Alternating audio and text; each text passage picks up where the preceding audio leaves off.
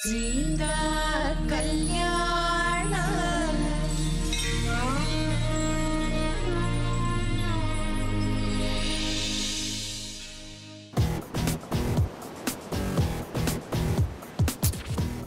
ഒന്ന് ചിരിക്കണം. അയ്യേ ഇതെന്ത് ചിരിയാ? വാ കൊണ്ട് ഗോഷ്ടി കാണിക്കുന്ന പോലെ ഉണ്ട്. ഓ. അജയുടെ ചിരി കാണാൻ പിന്നെ ഭയങ്കര ഭംഗിയാണല്ലോ. മര്യാദയ്ക്ക് ചിരിക്കാൻ പോലും അറിഞ്ഞൂടാ. എന്നാ ഏടനോട് ചോദിച്ചു നോക്ക്. ക്യാമറയിൽ ആർക്കാ ഭംഗിയെന്ന്? ഞാൻ തന്നെയാ സുന്ദരി. മുമ്പൊരു മാഗസിന്റെ കവറിന് വേണ്ടി എന്റെ ഫോട്ടോ എടുത്തിട്ടുണ്ട്. അയ്യോ എന്തൊരു തള്ളു. ചുമ്മാ ഞാൻ കള്ളൊന്നും അല്ല പറഞ്ഞ. മാഗസിന്റെ ഫോട്ടോ പോലും. ദേ കള്ളം പറയരുത്. കള്ളല്ലെന്ന് പറഞ്ഞില്ലേ? ദേ, ഏട്ടൻ പോകുന്നു. ഏട്ടാ. ഏട്ടാ. ഏട്ടാ ഫോട്ടോ എടുക്ക്. ഞാൻ നിർത്തി. ഞങ്ങൾ ഇനി കുഴപ്പമുണ്ടാക്കില്ല. വഴക്കിടില്ല. പ്ലീസ് കല്യാണേട്ടാ ഇനി നിങ്ങൾ മര്യാദയ്ക്ക് പോസ് ചെയ്യോ. ഞങ്ങളുടെ കുഞ്ഞിന് കാണിച്ചു കൊടുക്കാനുള്ള ഫോട്ടോയാ ഞങ്ങൾ മര്യാദയ്ക്ക് നിൽക്കാം. സ്വാതി. ചെല വേണ്ട.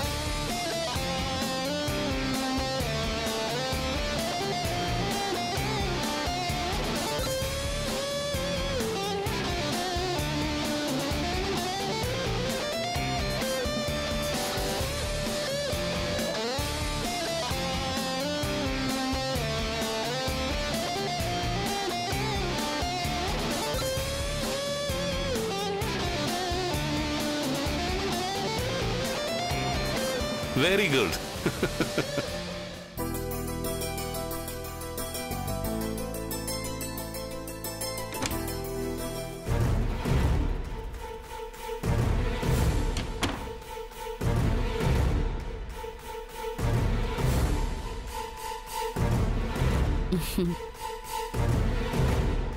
ആഹാ പുസ്തക വായനയൊക്കെ ഉണ്ടോ?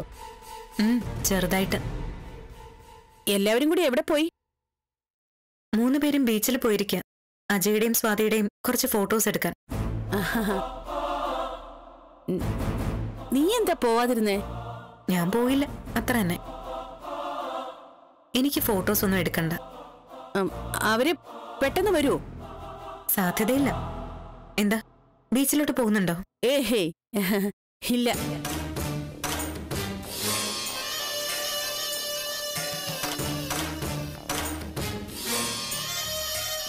ഇത് നല്ല സമയമാണ്. സീത ഇവിടെ തനിച്ചാണ്. പെട്ടെന്ന് തന്നെ ജയശങ്കറിന്റെ വിവരം അറിയിക്കണം.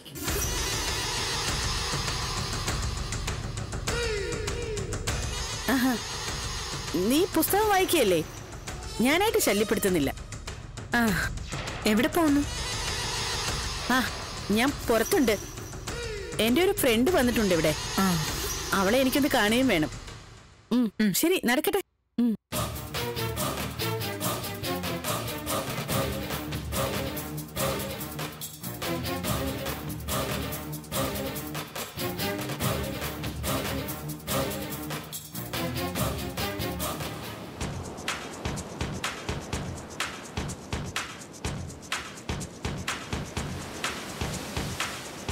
അതെ ഒരേ ഡ്രസ്സിൽ തന്നെ ഫോട്ടോസ് ഒക്കെ എടുത്തിരിക്കുന്നത് വേറെ ഡ്രസ്സൊന്നും കൊണ്ടുവന്നിട്ടില്ലേ?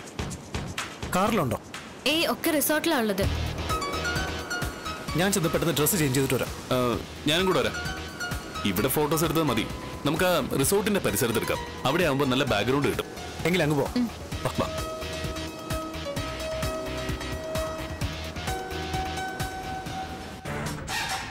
ആ ജയശങ്കർ. സീത മുറിയിൽ തനിച്ചാണ്. മറ്റെല്ലാവരും ബീച്ചിലേക്ക് പോയി.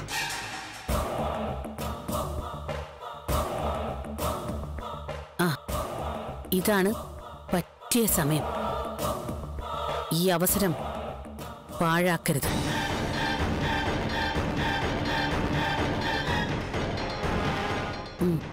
ശരി. ഓക്കെ ജയശങ്കർ.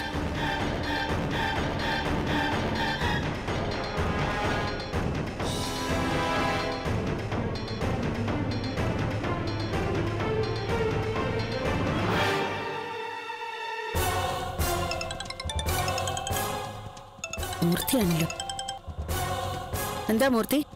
Hello madam. ഞാൻ മാഡത്തിനെ ഒരുപാട് മിസ് ചെയ്യുന്നുണ്ട് കേട്ടോ. മാഡം പോയതിന് ശേഷം എന്നെ ആരും വഴക്ക് പറഞ്ഞിട്ടില്ല. അതിന്റെ ചെറിയൊരു മൂടോട്ടുണ്ടേ.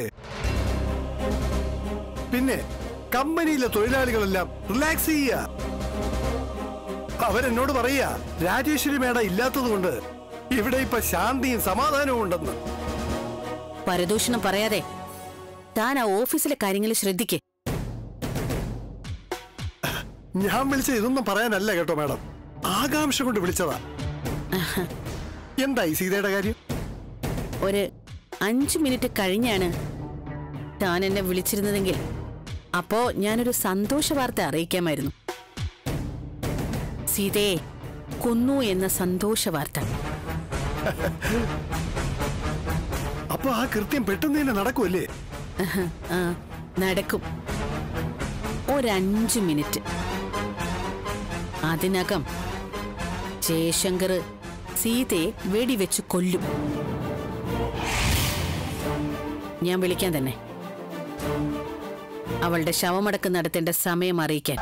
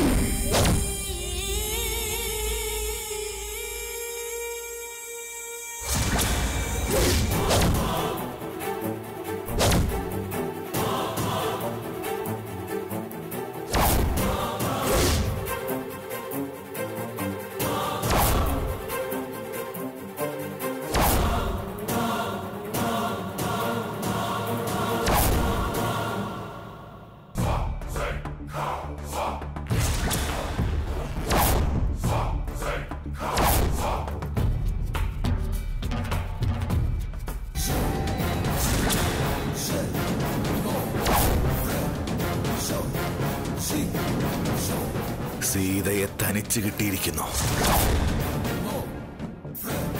അവളുടെ നെഞ്ചിലേക്ക് തന്നെ ഞാൻ നിറയൊഴിക്കും. വെടിശബ്ദം പുറത്തു കേൾക്കില്ല. മറ്റുള്ളവർ അറിയുമ്പോഴേക്കും ഞാൻ ഇവിടെ നിന്ന് രക്ഷപ്പെട്ടിരിക്കും. ഒരിക്കലും മുന്നം പിഴച്ചിട്ടില്ലാത്ത ജയശങ്കറിന് ഇന്നും പിഴയ്ക്കില്ല. ഭാവം സീത.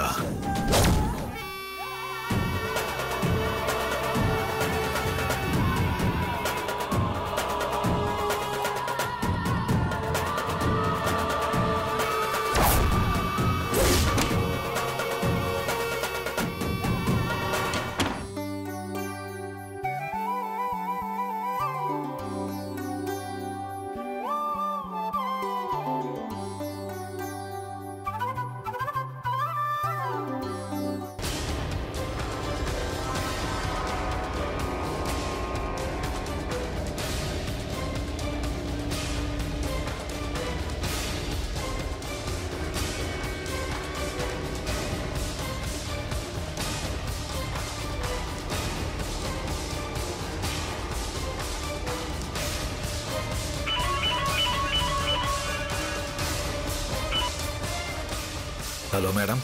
ജയശങ്കർ സീത മുറിയിൽ നിന്ന് ഇറങ്ങി. റിവർ സൈഡിന്റെ സമീപത്തെ ബോട്ട് ക്ലബിനടുത്തേക്ക് പോവുകയാണ്. ഈ സമയത്ത് അവിടെ മറ്റാരുമില്ല. ഇതാണ് പറ്റിയ സമയം. ശരി മാഡം. ഞാനിതാ ഇറങ്ങിക്കഴിഞ്ഞു. അവളുടെ ആയുസ് അവൾ നമുക്ക് മുന്നിലേക്ക് വെച്ച് നീട്ടിയിരിക്കുകയാണല്ലോ മാഡം. ഉന്നം പിഴയ്ക്കരുത് ജയശങ്കർ. എനിക്ക് ആ സന്തോഷ വാർത്ത കേൾക്കണം. സീത മരിച്ചു എന്ന സന്തോഷ വാർത്ത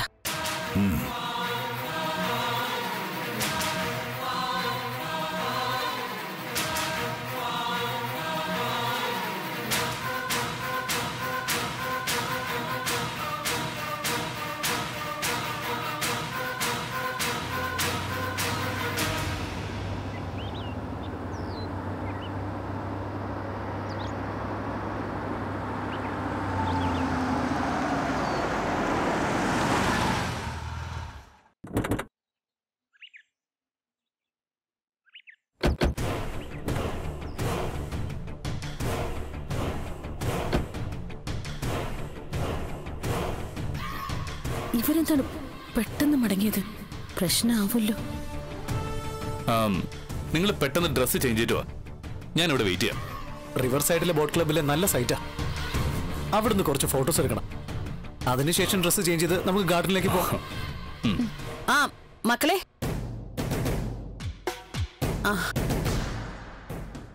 ഇതെന്താ എല്ലാവരും പെട്ടെന്ന് വന്നത്? ബീച്ചിൽ നിന്ന് കുറെ ഫോട്ടോസ് എടുത്തു. ഇവർക്ക് ഡ്രസ്സ് ചേഞ്ച് ചെയ്യാൻ വേണ്ടി വന്നതാ. എന്നിട്ടെന്താ മുറിയിലേക്ക് പോവാതെ റിവർ സൈഡിലേക്ക് പോകുന്നത്? അവിടെ ചെന്ന് കുറച്ച് ഫോട്ടോസ് എടുത്തതിന് ശേഷം ഡ്രസ് ചേഞ്ച് ചെയ്യാന്ന് വിചാരിച്ചു. എന്നിട്ട് വീണ്ടും പുറത്തു പോകും അയ്യോ അതൊന്നും വേണ്ട. റിവർ സൈഡിലേക്ക് ഒന്നും പോകണ്ട എന്റെ അമ്മയെ പുഴയിൽ ഇറങ്ങി കുളിക്കാനൊന്നും അല്ല പോണേ. ഫോട്ടോസ് എടുക്കാനാ. ഏട്ടാ.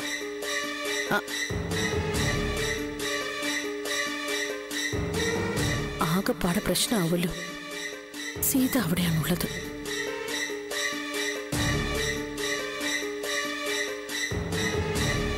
അമ്മയ്ക്ക് എന്തോ ഒരു ടെൻഷൻ പോലെ. ഒന്നുമില്ല. അവർ പുഴയിലെങ്ങാനും അബദ്ധത്തിൽ വീണാലോ? അതാ അതാ ടെൻഷൻ. ഈ അമ്മയുടെ ഒരു കാര്യം. അവർ ചെറിയ കുട്ടികളൊന്നും അല്ല. അച്ഛനും അമ്മയും ആവാൻ പോകുന്ന മുതിർന്നവരവര്. അമ്മ കൂടി വാ. അമ്മയുടെ കുറച്ച് ഫോട്ടോസ് കൂടി എടുക്കാം. വേണ്ട. ഏയ് വേണ്ട. വാ അമ്മേ. ഒറ്റ ഫോട്ടോ പ്ലീസ്.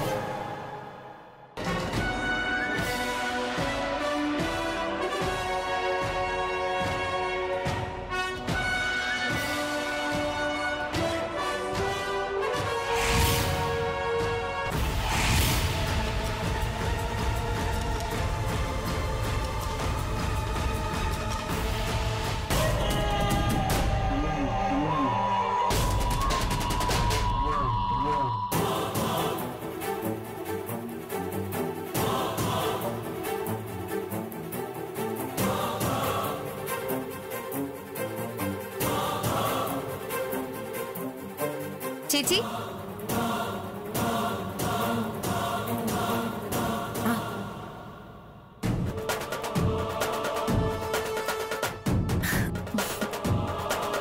ചേച്ചി ഇവിടെ നിൽക്കുകയാണോ?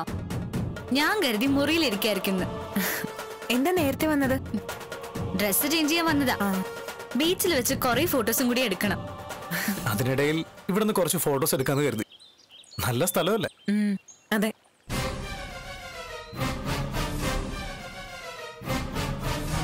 കല്യാണം എവിടെ? അമ്മയോട് സംസാരിക്കുക കല്യാണേട്ടാ. കല്യാണേട്ടാ. ദേ അത് നോക്കി. നല്ല രസമുണ്ട്.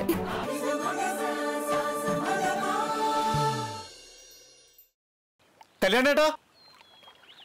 കല്യാണേട്ടാ. ദേ അത് നോക്കി. നല്ല രസമുണ്ട്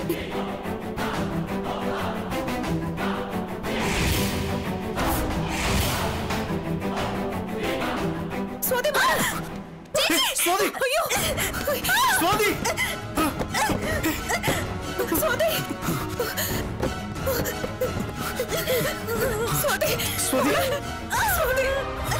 സ്വാതി! സ്വാതി!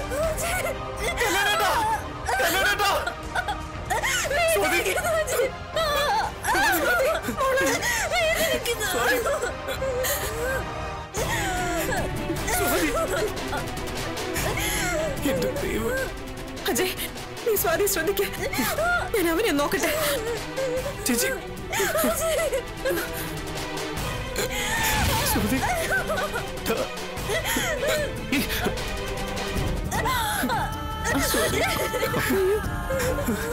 കരുണേടാ സ്വാതി. സ്വാതി. എന്താ അജയ്? എന്താ പറ്റിയ? സ്വാതി മോളെ. സ്വാതി അജയ്. എന്താ അജയ് ഉണ്ടായത്? ആ? മാസ്ക് ധരിച്ച ഒരാൾ അവിടെ മറിഞ്ഞ് നിന്ന് വെടിവെച്ചു. അയാൾ അയാൾ അതുവഴി ഓടിപ്പോയി. പിറകെ സീതേച്ചും പോയിരിക്കും. സ്വാതി എങ്ങനെ വീണത്? സീതേച്ചി തള്ളിയപ്പോ വീണതാ. വയറെവിടെയോ ഇടിച്ചിട്ടുണ്ട്. മോളെ സ്വാതി. സ്വാതി. മോളെ. അയ്യോ സ്വാതി. സ്വാതി. മോളെ കണ്ണു. സ്വാതി. സ്വാതി. സ്വാതി വേഗം ഹോസ്പിറ്റലിൽ എത്തിക്കാൻ നോക്ക്. ഞാനൊന്ന് നോക്കിട്ട് വരാം. സ്വാതി. വേഗം. മോളെ. സ്വാതി. അമ്മേ സ്വാതി. കണ്ണു തുറക്കും മോളെ. സ്വാതി. സ്വാതി. സ്വാതി. മോനെ. സ്വാതി ഇത്രയും പെട്ടെന്ന് ഹോസ്പിറ്റലിൽ എത്തിക്കണം.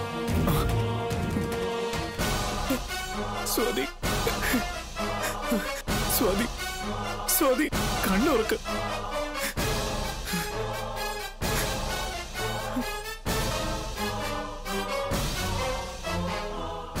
അപകടം പറ്റിയത് സ്വാതിക്കാണ്.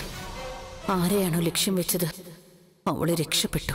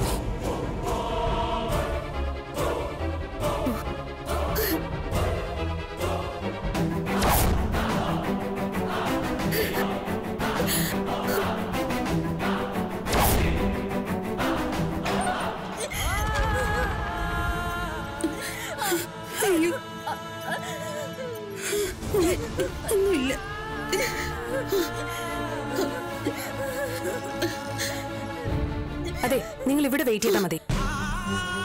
ഡോക്ടർ സ്വാതി ഗർഭിണിയാണ്. നല്ല വീഴ്ചയായിരുന്നു. അവളുടെ പയറ്റി കിടക്കുന്ന കുഞ്ഞിന് ഒന്നും സംഭവിക്കരുത്. പ്ലീസ് രക്ഷിക്കണം. ഞാനൊരു ഡോക്ടറാണ്. ദൈവമല്ല. കഴിയുന്നത് പോലെയൊക്കെ ഞാൻ നോക്കാം. ബാക്കിയൊക്കെ ദൈവത്തിന്റെ കയ്യിലാ. ഡോക്ടർ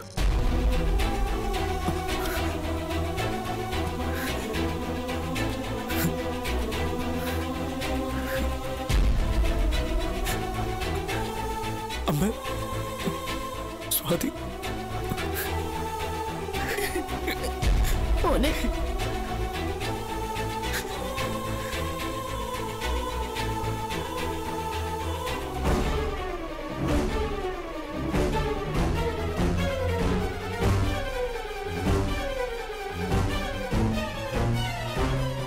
സർ ഇവിടെയായിരുന്നു സീത നിന്നിരുന്നത്.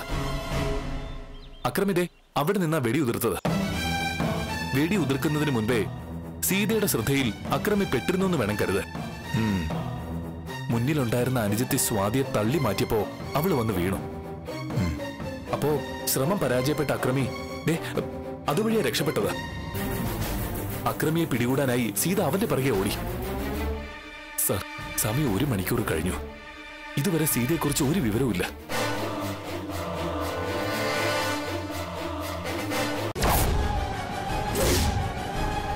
അവൾ എവിടെന്ന് ഒരു നിശ്ചയവുമില്ല. പോലീസ് അന്വേഷിക്കുന്നുണ്ട്. സീതയുടെ കാര്യം ആലോചിക്കുമ്പോ ഒരു സമാധാനമില്ല എവിടെ പോയി തിരയും ഞാൻ?